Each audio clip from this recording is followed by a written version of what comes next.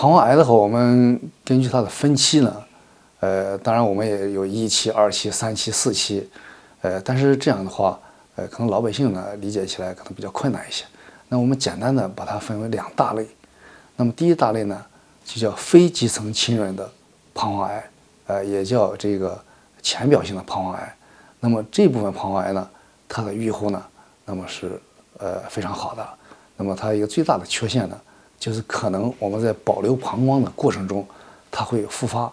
那么复发以后呢，哎，我们再次给它进行治疗啊。那么如果复发以后进展的这些病人的话，我们可能会他采取不保留膀胱的一些治疗方式。这是第一大类。那么第二大类呢，就是这个呃基层浸润的膀胱癌。就这个膀胱癌它生长的时候呢，呃，一方面呢向这个膀胱腔内生长。那么另外一方面，它会像树根一样的话，往往深里面去长啊。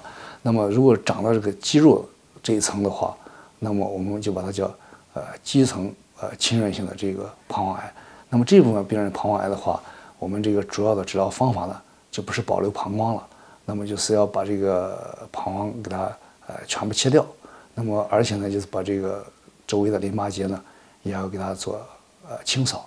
那么这部分病人的预后呢？就相对要差一些。